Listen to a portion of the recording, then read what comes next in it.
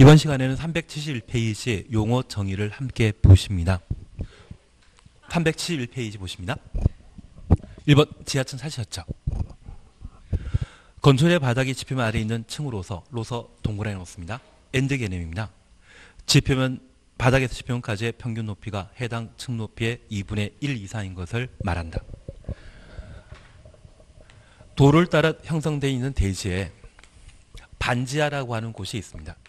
이 반지하는 우리가 밟고 있는 바닥 두께가 보통 20cm 정도이거든요. 발을 올려놓게 되는 바닥 윗면에서 위층 바닥 윗면까지의 거리를 층고, 층높이라 표현합니다. 보통 주택은 층고가 3m인 반면 비주택의 경우는 층고가 4m입니다. 그리고 이 지표면부터 바닥까지의 평균 높이가 만약 1m밖에 안 된다고 하면 2분의 1에 못 미치기 때문에 얘는 지상층이 됩니다. 반면 2m, 3m라고 하면 그때는 2분의 1 이상이기 때문에 그 반지하층은 바로 지하층이 되게 됩니다. 그래서 지금 지하층과 관련되어서는 단순히 방의 바닥이 지표면 아래에 있다고 해서 지하층이 되는 것이 아니라 층과 지표면부터 바닥까지의 평균 높이를 비교하게 되었을 때 2분의 1 이상일 때만 지하층에 해당하게 됩니다. 여기 지하층이 만들어지게 되면 층수에서 재배시키고 용적률 산정 시에 지하층의 면적은 연면적에서 재배시켜버립니다. 그래서 이 반지하를 적극적으로 잘 활용하는 것이 어찌 보면 서비스 면적에 해당된다는 이야기를 가끔 하기도 하는데 그 요건을 우리가 한번 확인하셔야 됩니다. 그래서 우리 봐주실 것은 바닥에 지표면 아래 있는 층으로서 로서 and 개념입니다. 바닥에서 지표면까지의 평균 높이가 해당 층 높이의 2분의 1 이상인 것을 지하층이라 한다. 그 정도를 봐뒀습니다. 지하층의 지표면에 대해서는 신경 쓰지 마십시오. 거실 제끼십니다. 그리고 주요 구조부 차시였죠. 내력벽 기둥 바닥 보 지붕틀 주계단을 주요 구조부라 합니다. 하나 이해하실 것이 있습니다. 지금 우리가 공부하고 있는 건축법은 1962년도에 제정된 법률인데 그 당시에 건물 건축하게 되면 지금처럼 콘, 콘크리트로 건물 건축하겠습니까? 기둥 세워놓고 건물 건축하겠습니까? 기둥부터 세워놓고 건물 건축하게 되는데 건물에 있어서 뼈대 골격에 해당되는 것을 먼저 만들고 나머지를 채워나가는 게 건축 공사였거든요. 그래서 건물의 뼈대에 해당되는 것을 주요 구조부라 표현하게 됩니다. 취지 이해하시겠습니까? 내력벽 기둥 이해되시고 지금 밟고 있는 바닥 수평 구조물이죠. 그리고 보는 위층 바닥 무게를 기둥에 전달시키기 위한 수평 구조물을 보라 표현합니다. 그리고 지붕, 틀, 주계단 이러한 것들을 주요 구조부라 표현하게 됩니다. 다만 최하층 바닥, 최하층 바닥 추천없습니다.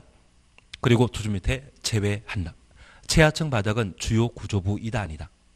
아닙니다. 그래서 그냥 기둥이 아니라 사익 기둥, 그냥 보가 아니라 작은 보. 앞에 이상한 말 붙게 되면 얘는 경미한 구조에 해당되는 것으로 주요 구조부 아니고 최하층 바닥의 경우는 바닥 바로 밑이 땅입니다. 바닥에 주저앉을 염려 없기 때문에 대충 만들어도 상관없거든요. 대신 대충 만들다 보면 가끔 지하 주차장에서 물 새는 경우 있지 않습니까? 대충 만들기 때문에 그런 일이 발생하는 것 같습니다. 다만 최하층 바닥은 주요 구조부이다 아니다. 아니다. 그것만 잡아놓습니다. 그리고 4번 리 모델링입니다. 2년 전에 개정된 개념인데 눈에 익혀주시는 게 필요합니다.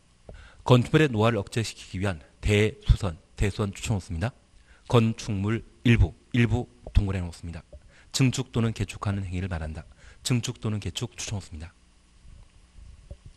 그래서 종전에는 개축이란 개념이 없었는데 건축법에서는 리모델링을 거론하게 되면 대수선이 원칙이고 건축물 일부를 증축, 개축하는 것도 리모델링으로 인정하게 됩니다. 다만 증축 개축 앞에는 일부란 말만 나와야 되지 전부 또는 일부란 말 나오게 되면 바로 틀린 것으로 잡아내셔야 됩니다. 그리고 5번 관계자 등에 대해서는 지키십니다. 그리고 다음 페이지에 설계 도서 이런 것도 지키십니다. 그리고 373페이지에 10번 부속 구조물 찾으셨죠. 건축물의 안전 등을 향상시키기 위해 건축물에 추가 설치하는 급기 배기를 위한 환기구, 환기구 추놓습니다. 그리고 환기구 바로 밑에 환기 시설물이라고 적어 놓습니다. 환기 시설물이나 시설물이나 환기구나 같은 의미인데 우리 아파트나 건물 꼭대기에는 바람 불면 뱅뱅 돌아가는 환기 설비가 설치되어 있거든요. 그 환기 설비 설치하기 위한 공기 흡입구, 배기구 있다고 하면 얘를 환기 시설물, 환기구라고 얘를 부속 구조물이라 표현하게 됩니다.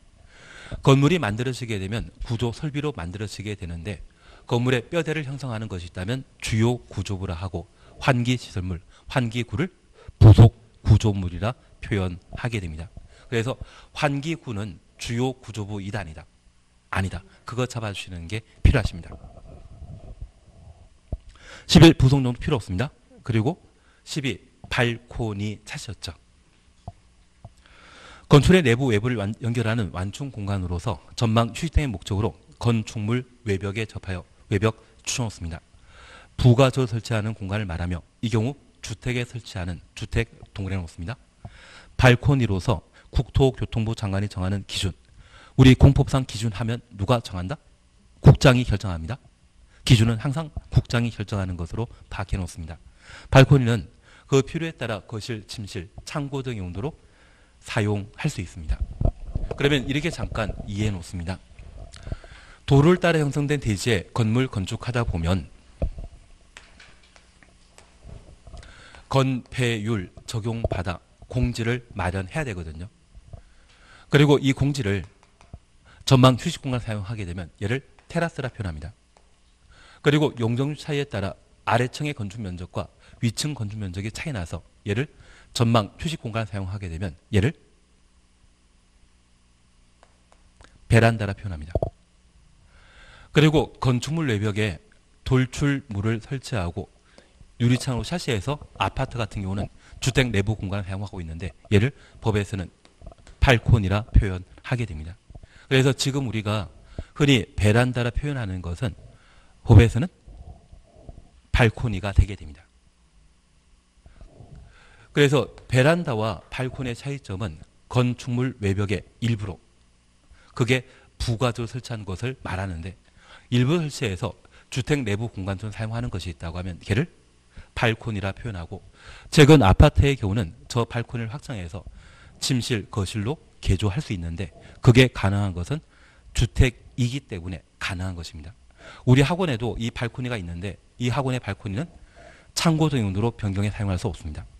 변경 사용 가능한 것은 오직 뭐만? 주택에 설치한 발코니의 경우에만 국장이 정하는 기준에 따라 거실, 침실, 창고 등 용도로 사용할 수 있다. 그렇게 파악해 주셔야 됩니다. 근데 오늘 집에 가셔가지고 얘를 발코니 하실 겁니까? 베란다를 하실 겁니까? 가족들 위해서 그냥 베란다를 하셔야 됩니다. 오랜만에 공부하러 나갔다가 사람 이상해졌다. 그런 이야기 들으시거든요. 그냥 베란다라 표현하는 게 제일 좋은 것 같습니다. 그리고 몇 번 그러시다 보면 아마 국어 시간 옛날 학교 다닐 때 국어 시간에 홍길동 전 공부하신 적 있지 않습니까?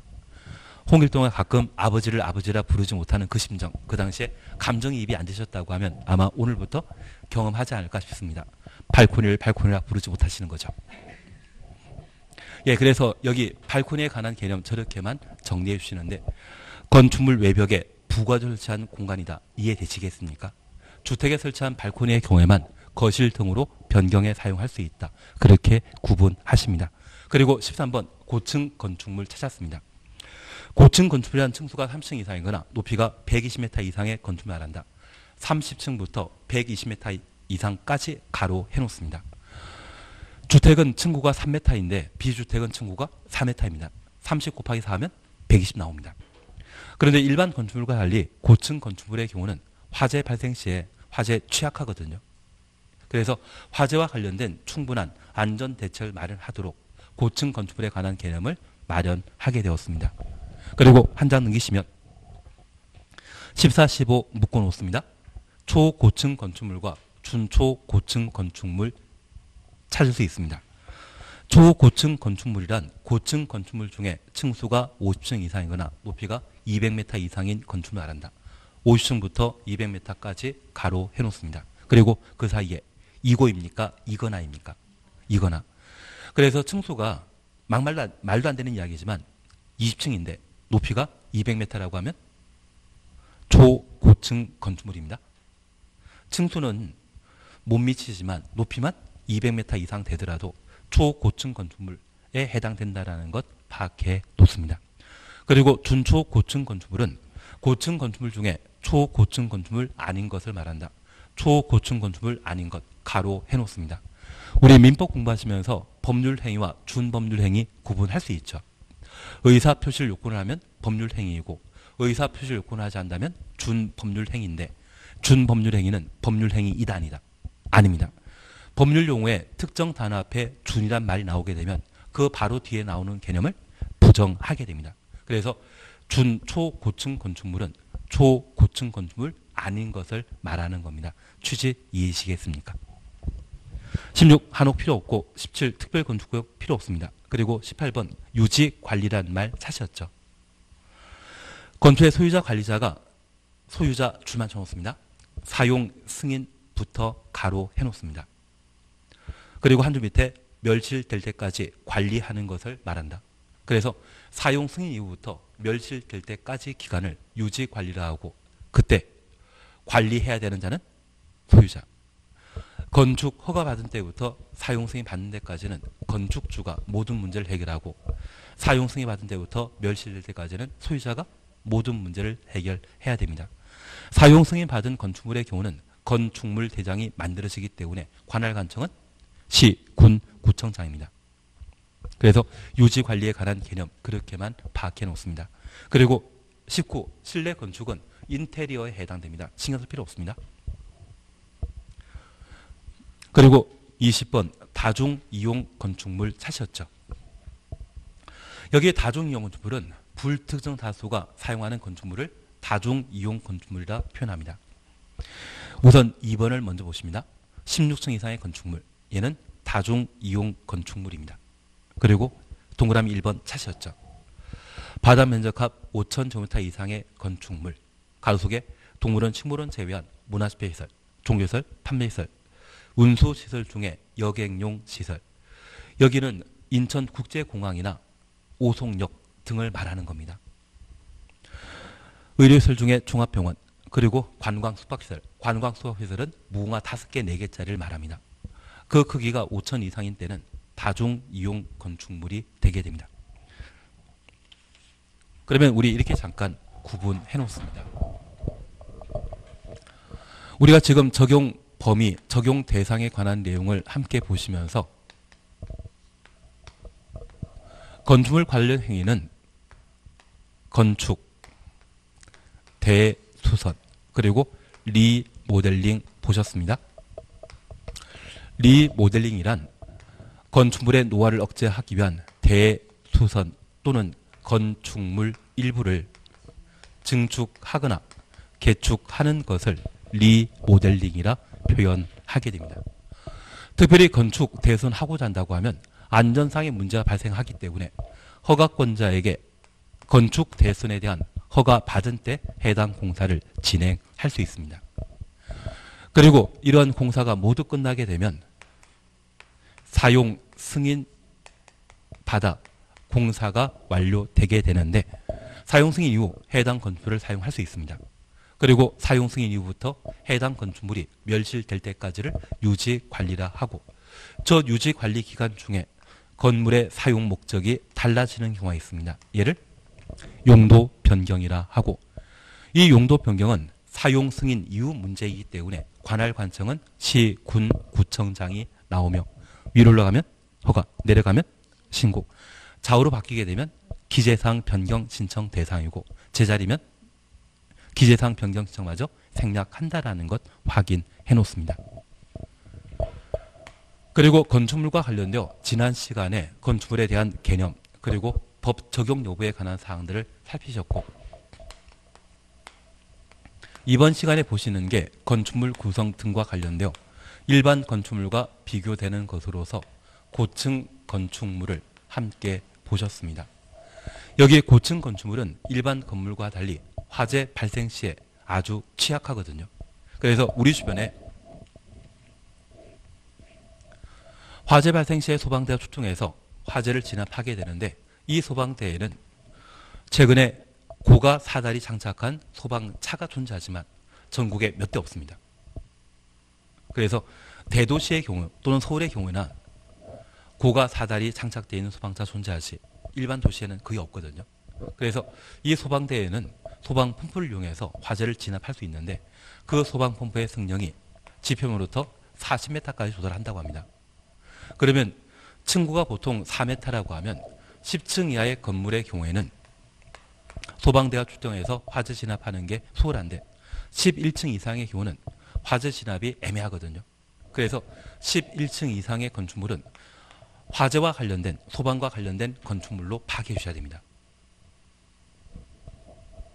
그래서 11층 이상의 건물 건축하다 보면 10층 이하의 건물 건축 시에 공사 단가가 거의 두 배 정도 차이 납니다.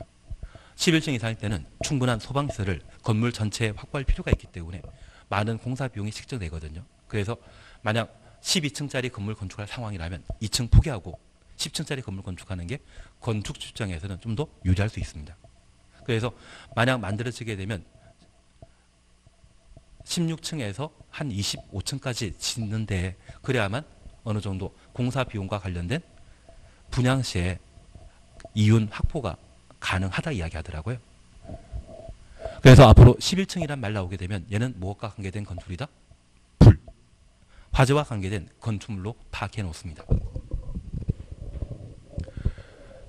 그래서 현재 고층 건축물은 층수가 30층 이상이거나 높이가 120m 이상의 건축물 말하며 이러한 고층 건축물을 세분하게 되면 초고층 건축물과 준초 고층 건축물로 각각 구분하게 됩니다. 우리 준 강남이란 말 들어본 적 있으십니까? 강남 3구, 강남구와 서초구, 송파구와 강남 3구이고요. 최근에 강, 강동구와 동작구를 준 강남이라 표현하고 강남 4구라는 이야기를 하시더라고요. 강남 2단이다. 아니다. 그래서 준초 고층 건축물은 고층 건축물이지만 초고층 건축물 아닌 것을 준초 고층 건축물이라 표현하게 됩니다. 그리고 이런 건축물에는 특수 구조 건축물과 다중 이용 건축물 그리고 준 다중 이용 건축물 나오는데 그래도 출제하는 분들이 양심은 있기 때문에 얘만 내지 얘는 안 내시더라고요. 나중에 춘 다중 이용 건축물까지 한번 정리해 나가셔야 될 겁니다. 다만 다중 이용 건축물은 건물의 규모가 16층 이상이면 불특정 다수의 많은 사람들이 사용하는 건축물로서 다중 이용 건축물로 분류하고 16층은 아니지만 바닥 면적 합 5천 제곱미터 이상의 6개 용도의 건축물이라면 다중 이용 건축물로 분류하게 됩니다. 우리 탤런트 안문숙이라는 분 들어본 적 있으십니까? 그분하고 이름이 같은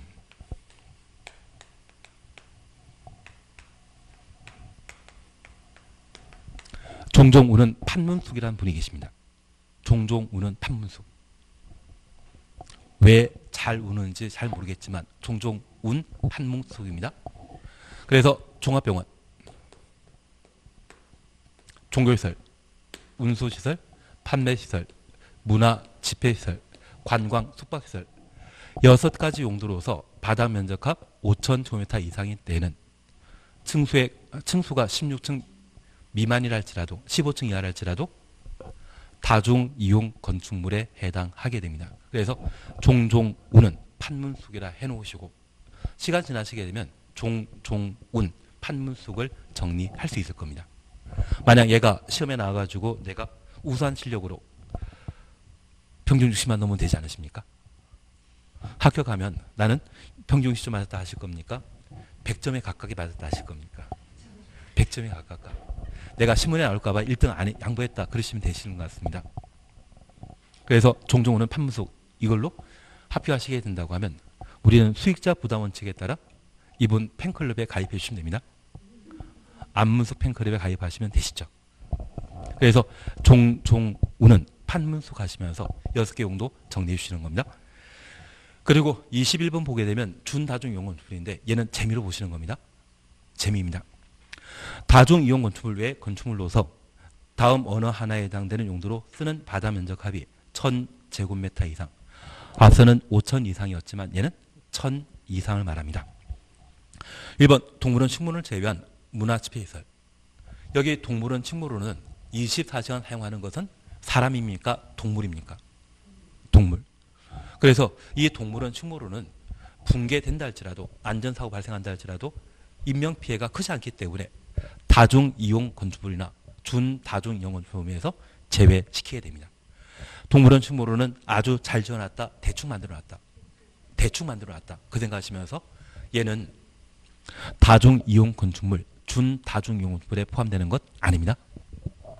그리고 종교시설, 판매시설, 운수시설 중에 여경용시설, 의료시설 중에 종합병원, 그리고 구분해 숙박시설 중에 관광 숙박시설, 종종 우는 판문속 6개 똑같죠. 이제 6번 보시게 되면 교육, 연구, 시설, 학교, 도서관 말합니다. 노유자 시설, 유치원, 경로나 말합니다. 운동시설, 잠실 체육관 알고 계실 겁니다. 그리고 유락설이라면 나이트클럽, 버닝스를 말하는 것이고요. 관광 휴게설이라고 하면 야외 자동차 극장이 여기에 해당되게 됩니다. 야외 음악당이나 자동차 극장이 여기에 해당되는 것으로 파악하시고 장례시설 볼 수 있는데 우리 이렇게만 잠깐 이해해 놓습니다. 바다 면적합 1000제곱미터 이상의 종종 우는 판문수 5천 미만은 준 다중 이용 건축물이 되게 됩니다. 여섯 개는 5천 이상일 때는 다중 이용 건축물이고 5천 미만은 준 다중 이용 건축물 1천 이상입니다. 그리고 이제 여섯 개만 봐주시는데 우리 태양의 후예라고 하는 드라마 본 적 없으시죠? 공부하시느라고. 예. 대신 들으는 보셨는데 그때 주인공이 송송 커플 해가지고 결혼도 하셨습니다. 주인공의 계급이 대의였습니다. 그 대의를 위관 장교라 합니다. 소령 중령이라면 영관 장교라 표현하고 제가 아는 아, 제 수업 들으신 분 중에 한 분이 남편께서 대령이셨는데 별 못 달까봐 중개사 공부하시더라고요. 그래서 1년 만에 자격증 따시더라고요. 그래서 저한테 하시는 이야기가 남편 놀게 되면 진급 못하게 되면 자기가 돈 벌어서 남편 좀 놀게 해주려고 준비하신다고 하더라고요.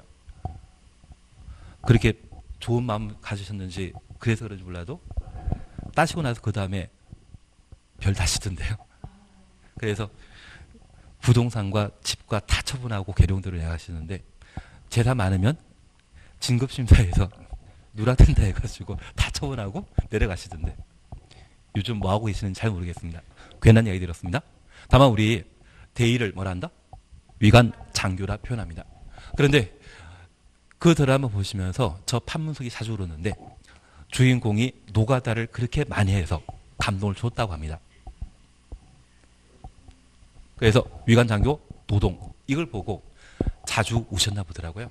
그래서 우리 유락시설, 관광 휴게시설, 장례시설, 교육 연구시설, 노유자 시설, 운동시설 이러한 여섯 가지로 천 이상일 때는 준 다중 이용 건축물로 여기까지 나오면 출제위원회 인간성 우리는 욕해야 됩니다. 근데 작년에 보니까 이상한 부분도 내시더라고요. 그래서 기본적으로 다중 이용 건축물에 대해서는 최근 5년 사이에 두 번 우리 시험을 출제했기 때문에 이번에 우리 고생시키려고 한다고 하면 얘도 다룰 수 있거든요. 그래서 힘드시지만 왜 저분이 저렇게 자주 울었는지 태양의 후에 생각하시면서 위관장교 노동 여섯 가지 바다 면적합 천 이상인 때는 준 다중 이용 건축물로 구분한다. 그렇게 파악해 놓습니다. 그리고 22번 특수구조 건축물에 대해서는 제키십니다. 그리고 이런 형태의 건물이 만들어지게 되면 이 건물 우리 학원도 마찬가지인데 지하층 존재하지 않습니까? 지하층은 건축의 바닥이 지표면 아래 있는 것으로서 지표면부터 바닥까지의 평균 높이가 2분의 1 이상인 것. 그리고 이러한 건축물은 일정한 구조, 설비로 구성되어 있습니다. 그래서 기둥, 바닥 등은 구조이고 전기 설비, 소방 설비 등이 있다고 하면 얘는 시설, 설비에 해당되게 됩니다. 그 중에 이 구조를 주요 구조 부와 부속 부조물로 각각 부분하게 되는데 환기 설비가 설치되어 있는 환기 시설물, 환기구를 부속 구조물이라 하고 기둥, 내력벽, 바닥, 지붕틀, 주계단 등을 주요 구조부로 하며 지하층 바닥은 주요 구조부이다 아니다. 아니다. 앞에 이상한 말 붙게 되면 무조건 주요 구조부에서 제외시킨다라는 것 파악해 놓습니다. 그리고 우리는 이제 아버지를 아버지로 부르지 못한 그 심정 이해되십니다. 발코니를 발코니로 부르지 못하는 거죠. 그래서 건축물 내벽에 부가 설치한 공간으로서 전망 휴식 등의 목적으로 사용하는 것을 발코니라고 주택에 설치한 발코니의 경우에는 국장이 정하는 기준에 따라 거실, 침실 등으로 변경 사용할 수 있다. 거기까지 잡아주십니다. 그래서 우리 건축의 종류에 관한 사항과 건축물 만들어졌을 때 구성 요소 여기까지만 한번 확인해 놓습니다. 그리고 다음 페이지 보시게 되면 제사절, 면적, 높이, 층수 산정 방법 하셨죠. 우리 신축이나 증축은 건축의 규모가 종전보다 커졌을 때 신축, 증축이라 하고 종전과 동일한 규모를 개축 또는 제출했습니다. 그러면 건축물의 크기는 건축 면적과 연면적 그리고 높이 층수로 판단하도록 되어 있거든요. 그래서 우리가 알고 있는 제일 호텔들은 층수는 123층이고 높이는 555m이거든요. 63빌딩은 63층이겠습니까? 지하 3계층, 지상 60층이겠습니까? 지하 3계층, 지상 60층이 63빌딩입니다. 그래서 지하층이 존재하는 게 63빌딩입니다. 가볼 일이 없기 때문에 우리는 못 봤지만 나중에 한번 놀러 가면 그래서 우리 이런 것들이 건물 크기를 따지는 기준이 되게 됩니다. 그 중에 우리 건축 면적과 연면적에 관한 사항들을 살피시는데 흔히 건평이란 말 사용한 적이 있다고 하면 걔는 건축 면적. 연건평이라는 말 사용하신 적이 있다면 걔는 연면적을 의미하게 되는데 그에 대한 기본적인 사항들을 한번 살펴주셔야 됩니다. 자주 시험에 나오는 파트이기 때문에 보셔야 되는 것 같습니다. 1번 대지 면적에 대해서는 제키십니다. 그리고 2번 건축 면적 찾으셨죠.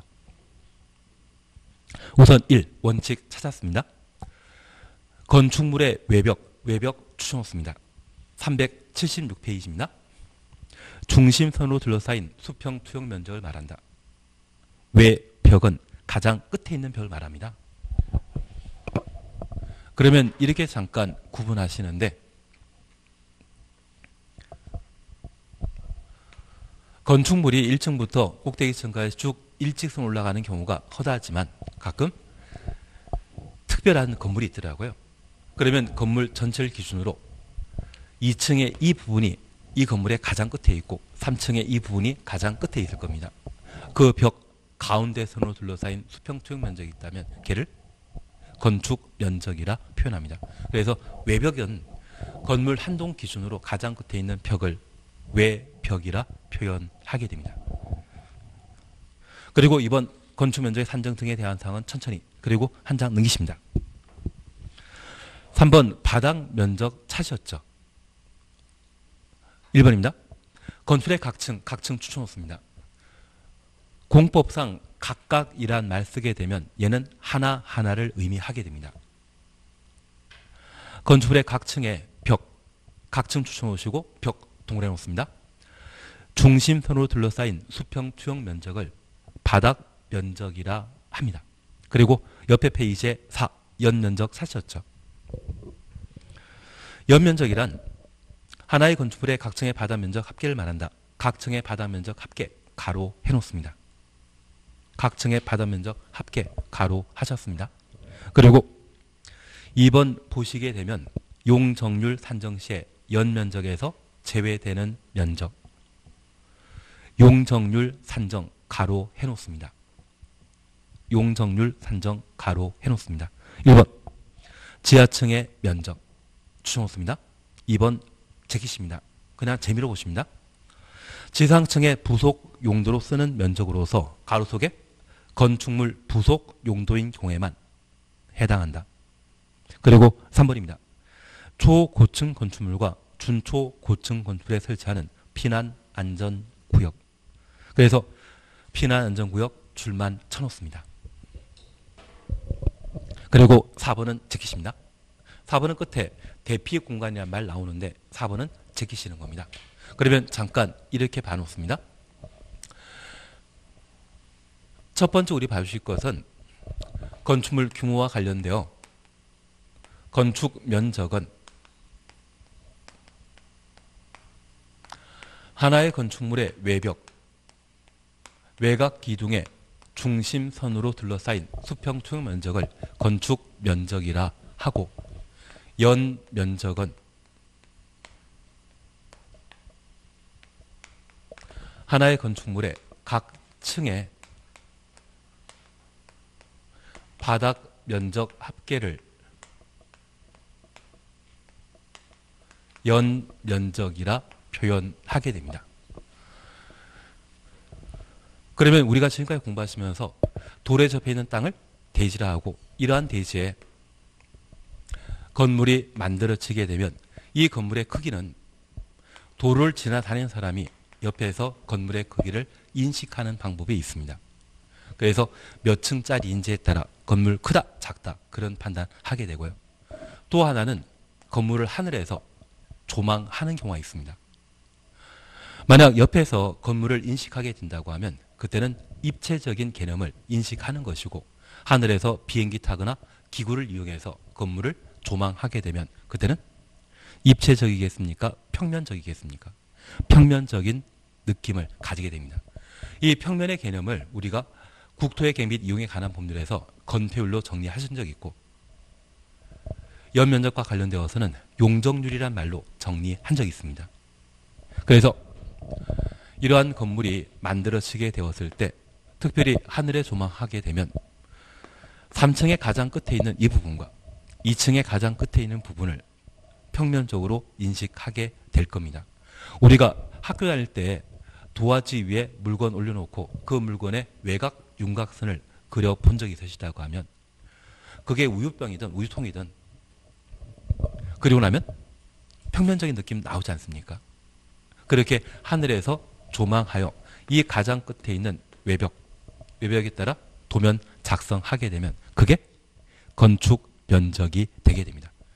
만약 이 건물이 10층짜리라면 건축 면적은 몇 장 나온다? 하나. 63 빌딩이라고 하면 건축 면적은 하나 나야 됩니다. 건축 면적은 평면적인 개념을 가지기 때문에 몇 층짜리는 관계없이 항상 하나 나오는 게 특징입니다. 얘는 입체적이다, 평면적이다. 평면적이다. 그래서 건물 한 동의 가장 끝에 있는 외벽, 중심선 둘러싸인 수평투영 면적을 건축 면적이라 표현합니다.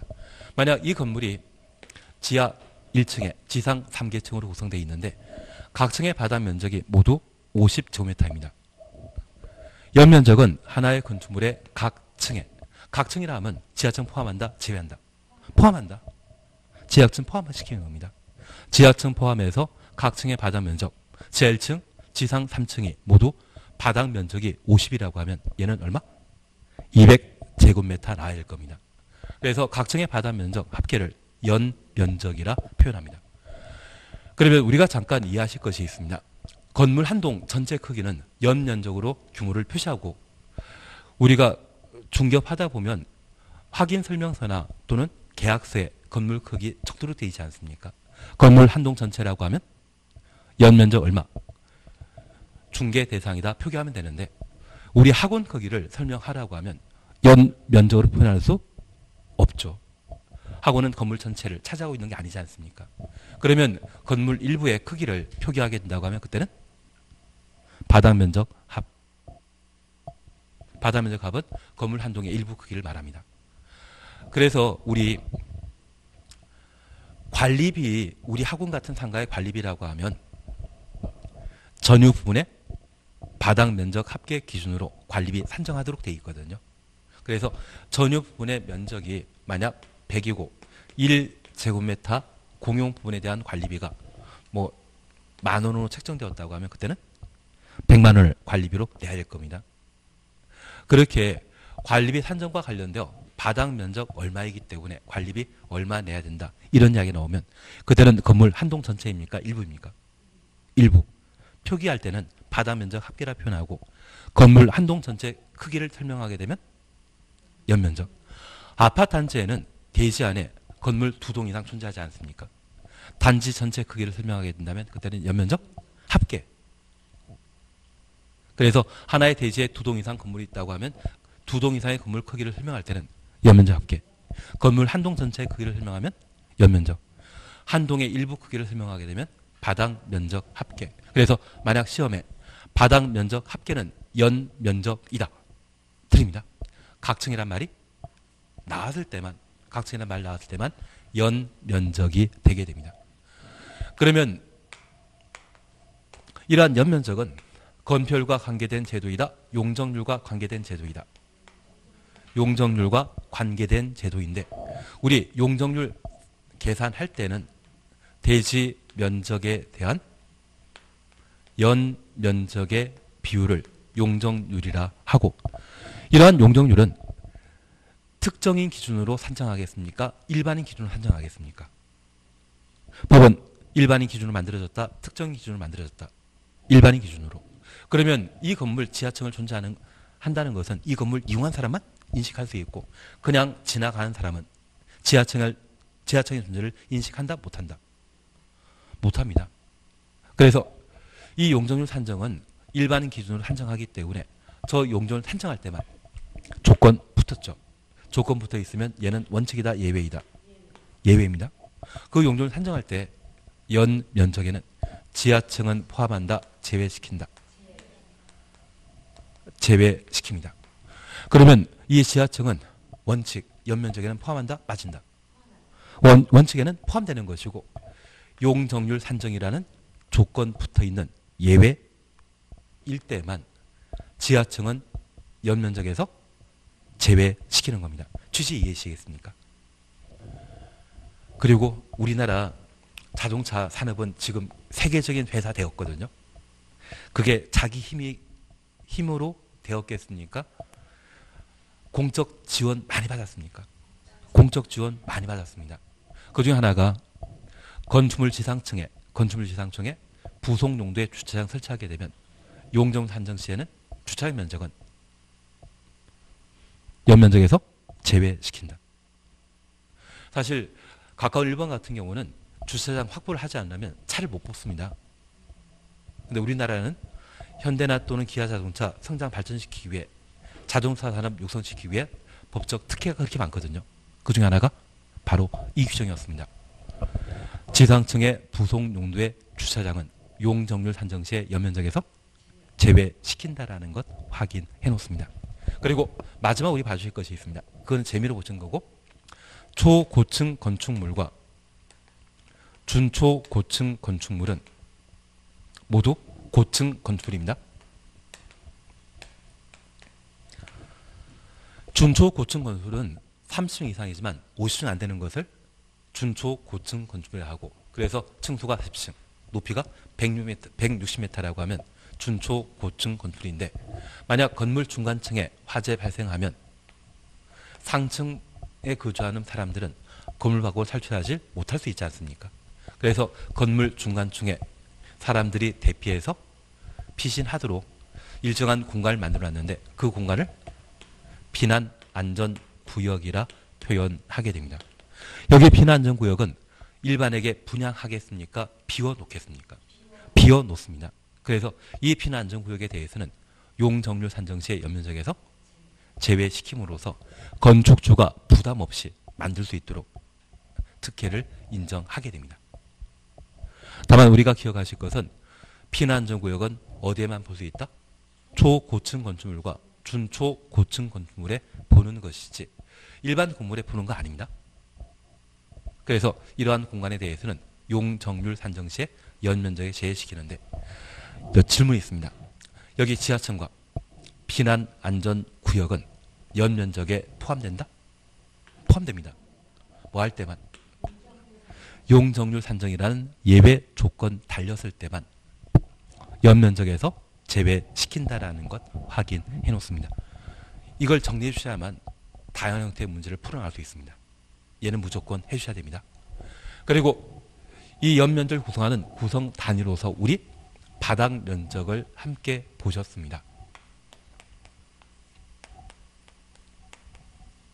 이게 제일 힘듭니다. 사실은 이 파트가 낯선 용어이고 해본 적 없기 때문에 얘를 이해하는 것도 힘드시고 정리하는 것도 좀 마트하십니다. 다만 우리 민법 공부하시면서 법률 행위는 하나 또는 둘 이상의 의사 표시를 요구하는 를 법률 효과를 법률 행위라 하죠. 법률 행위의 구성 단위는 뭐다? 의사 표시이면 연 면적을 구성하는 단위는 뭐다? 바닥 면적입니다. 그래서 연 면적 정리하기 위해서는 당연히 바닥 면적도 함께 정리하셔야 됩니다. 그러면 연면적은 입체적인 성격을 가지고 있다고 하면 연면적 구성한 단위인 바다 면적은 평면적 개념이다. 입체적인 개념이다. 입체적인 개념이다. 입체라는 걸 기억해 주셔야 됩니다. 그래서 바닥 면적은 하나의 건축물의 각 층의 벽, 기둥, 중심선으로 둘러싸인 수평초의 면적을 바닥 면적이라 표현합니다. 그래서 연면적도 각 층의 바닥 면적 합계이듯이 바다 면적도 각 층의 벽 또는 기둥의 중심선으로 둘러싸인 수평축 면적을 바닥 면적이라 합니다. 그러면 우리 학원 있는 건물의 경우는 여러 거실이 존재합니다. 강실과 사무실 구획하는 것도 있고 이웃 가게들도 있지 않습니까? 그래서 이 한 층에는 다양한 벽이 있습니다. 그런 내부의 벽 신경 쓰지 마시고요. 하나의 건축물의 한 층에 가장 끝에 있는 벽. 그래서 만약 1층을 구성하는 벽이 이 하얀 부분이라면 그 하얀 부분에 둘러싸인 수평 투영 면적은 1층 바닥 면적 되는 것이고요. 2층을 구성하는 벽이 이 빨간색이라고 하면 그 2층 가장 끝에 있는 벽 중심선으로 둘러싸인 수평 투영 면적을 2층 바닥 면적이라 표현합니다. 그래서 이 건축물이 지하 1층, 지상 3계층이라고 하면 4개 층의 바닥 면적 도면이 나오게 되는 겁니다. 취진 이해시겠습니까? 그래서 우리 기억하실 것은 건축 면적은 건물 한 동 전체 가장 끝에 있는 외벽 중심선으로 둘러싸인 수평초의 면적을 건축 면적이라 하고 바닥 면적은 하나의 건축물의 각 층에 각 층의 가장 끝에 있는 각 층의 가장 끝에 있는 벽 중심선으로 둘러싸인 수평초의 면적을 바닥 면적이라 합니다. 그러한 바닥 면적 전부 더하면 연 면적이라 표현하게 됩니다. 취지 이해시겠습니까? 그래서 건축 면적일 때는 외벽 중심선이라는 말 나오지만 바다 면적은 각 층에 그냥 벽 중심선으로 둘러싸인 수평초의 면적을 바닥 면적이라 표현합니다. 취지 조금 이해시겠습니까? 그러면 저는 두 개만 타고 지나갈 겁니다. 이번 바다면 산적과 관련된 예배 있는데 1, 2는 1번은 천천히 하시고요. 2번은 그냥 재미로 이야기 드리겠습니다. 건축물 등의 노대, 건축물의 노대 등 찾았습니까? 378페이지. 378페이지.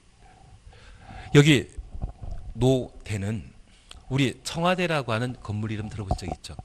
청와대 자가 건물 대자입니다. 그리고 노는 이슬 노자를 말합니다. 그래서 우리 처음처럼이라는 소주 이름 들어오셨다고 하면 처음처럼이 예전에는 질, 아, 처음처럼 아니구나. 제가 먹는 그거는 참이슬, 참이슬. 아니, 서울에는 다 그거 시켜가지고. 그거 아니면 청아만 시켜 먹어, 먹어가지고. 예, 죄송합니다. 그 참이슬이, 참이슬이 예전에는 질로였거든요. 그래서 로자가 이슬 로자를 말하게 됩니다. 그러면 건물을 구성하는 부분 중에 베란다나 발코니라고 하면 건물 한쪽 아, 발코니나 베란다는 한쪽 면이 벽에 접해 있지만 나머지 한두 곳이 개방되어 있거든요. 아침에 일어나면 이슬에 젖는 부분을 뭐라 한다? 노대라 표현합니다. 그래서 이 노대는 일본 건너와서 수입된 용어인데 발코니와 베란다를 일본에서는 노대라 표현하고 그 노대에 관한 개념을 우리가 정확하게 용어를 도입하지 않아 지금 발코니를 우리는 베란다라 표현하는 겁니다. 그래서 일본에 사용, 잘못 사용된 용어를 그대로 따라한 그런 형태라고 이해해 놓습니다. 그러면 이 노대는 사방 모두 벽에 둘러싸인 거 아니죠. 이걸 바다 면적에 전부 더하기 곤란하기 때문에 일부는 포함시키고 일부를 공제, 배제하도록 되어 있습니다. 잠깐 내용 보시니 난간 등의 설치 여부에 관계없이 그쵸 필요 없는 이야기입니다. 앞에는 노대 등의 면적에서 노대 등의 면적 가로 해놓습니다.